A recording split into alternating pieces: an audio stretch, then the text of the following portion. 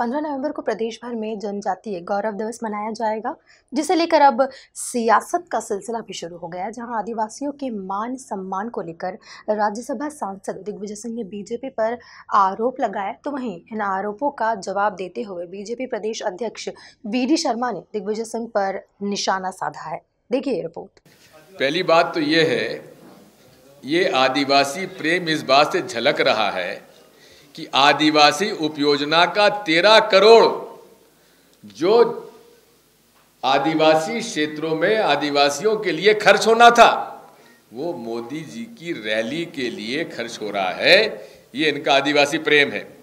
और मैं इसको निरंतर आदिवासियों पर किस कदर शोषण हो रहा है, इसकी जानकारी अपने सोशल मीडिया पे डाल रहा हूँ।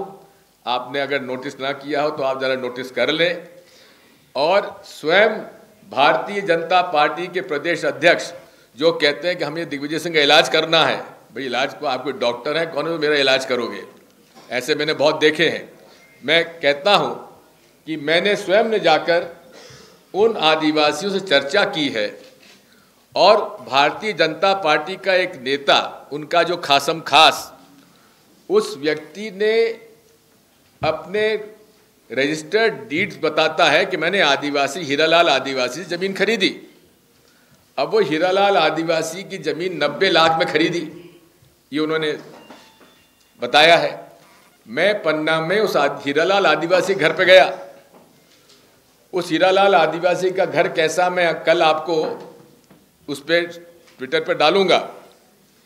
एक कच्चा घर, जब मैंने पूछा, भैया, हीरालाल कहाँ गाँव है?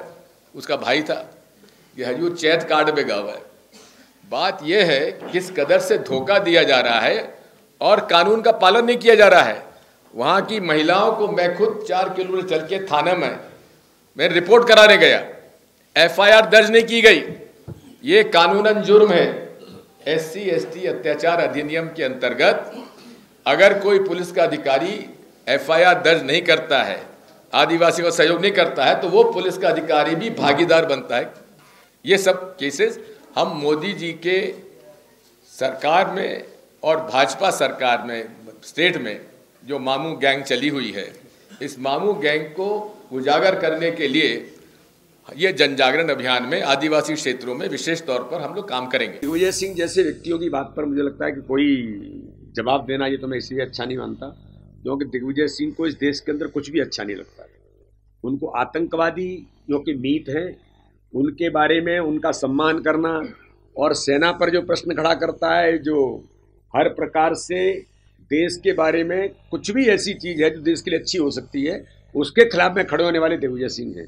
इसलिए इस पर और क्या बोलेंगे यही बोल सकते हैं। हमारा काम है कि भारतीय जनता पार्टी की सरकार, माननीय प्रधानमंत्री और माननीय मुख्यमंत्री, हर प्रकार से जनजातीय क्षेत्र के विकास के लिए, चाहे अटल बिहारी वाजपेयी जी थे, जब जनजातीय मंत्रालय बना करके उनके लिए काम किया था।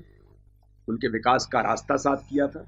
और इसी प्रकार से आज माननीय प्रधानमंत्री जी और माननीय मुख्यमंत्री ने जिस प्रकार से पंद्रह नवंबर को गौरव दिवस मना करके जो एक बड़ा ऐतिहासिक कदम उठाया है, ये तो जनजातीय क्षेत्र के लोग जानते हैं। दिग्विजय सिंह उनके बीच जाएँ और पूछें तो उनको पता लगेगा कि मान करते हैं, सम्मान करते हैं या अपमान करते हैं। कांग्रेस क्या करती है, देश इस बात को जानता है।